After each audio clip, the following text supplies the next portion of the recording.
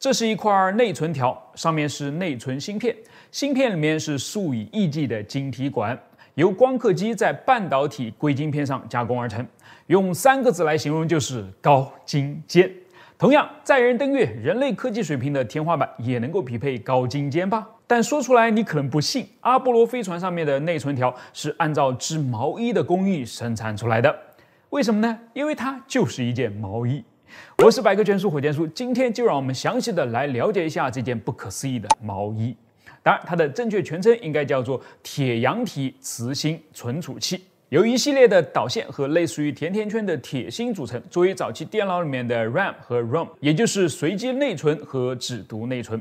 在阿波罗的飞行控制电脑里面发挥了极其重要的作用，所以接下来我们就看看它到底是怎么工作的。把很多个磁芯以四十五度角斜着排成间隔相当的阵列后，用水平和垂直的导线从中间穿过去，让每一个磁芯正好落在每一个交叉点上。磁芯用来储存信息，交叉点用来记录位置。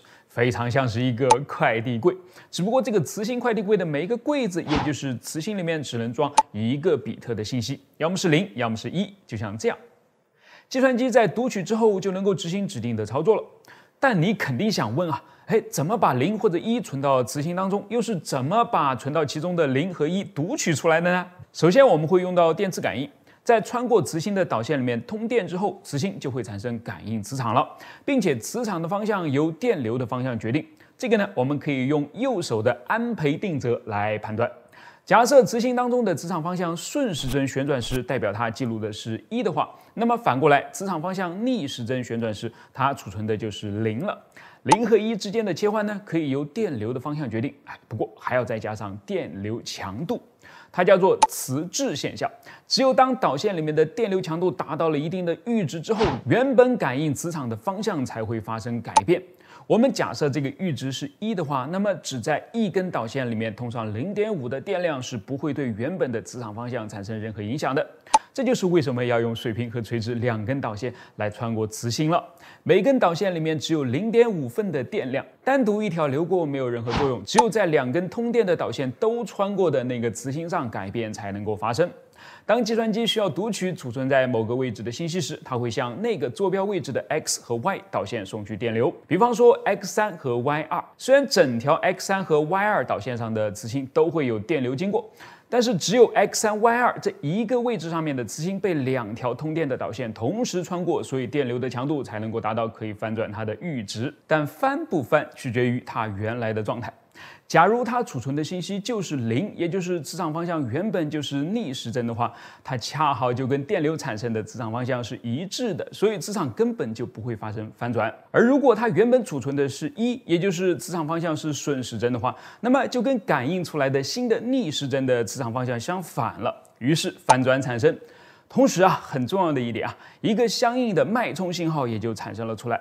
哎，这就是磁芯储存器里面贯穿所有磁芯的第三根导线的作用了，它叫做感应线，记录下这个脉冲信号，并告诉计算机。所以对计算机而言，如果在 x 三 y 二位置没有收到脉冲信号，那么这里就存着零；如果收到了脉冲信号，这里就存着一。终于啊，绕了这么一大圈，计算机读取到了它想要的数据。如果你还没有被绕晕的话，应该也了解了这部分的内容，它叫做读取周期。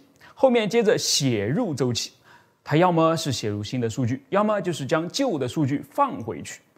写入新的数据我可以理解，但为什么非要把旧的数据再放回去呢？难道它就像是图书馆书架上面的书一样，只有一本取走就消失了吗？哎，还真是的啊！我们来回顾一下刚才读取数据的过程。尽管计算机读到了一，但却是将储存着一的这个磁芯翻转成零之后读出来的。所以你可以想见啊，当计算机把整个磁芯存储器里面的数据读取完一遍之后，所有的磁芯都变成了零。这便是它非常有特色的破坏式读取方式了，可谓是真月后积焚呐。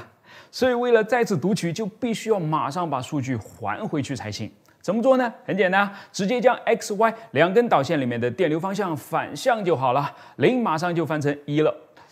等等，不对啊，那些原本就该是零的磁性该怎么办呢？